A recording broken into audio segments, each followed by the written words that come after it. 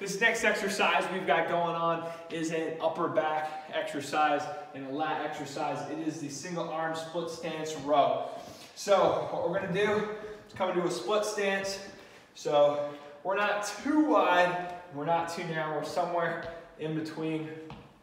Okay, now what we can do is hinge back into our hips. So think butt to the back wall behind us. Hey, we might even feel a stretch here in that hamstring. And then you can choose to support yourself with the knee here or here, keeping the back straight. Here, I'm gonna flip around, okay? So then I'm rowing. So I'm thinking armpit to back pocket. I'm pulling with this lat right up to my ribs and then right down. So exhale up and right down. Now I can be here. So whatever works best for you, go for it. Enjoy that exercise.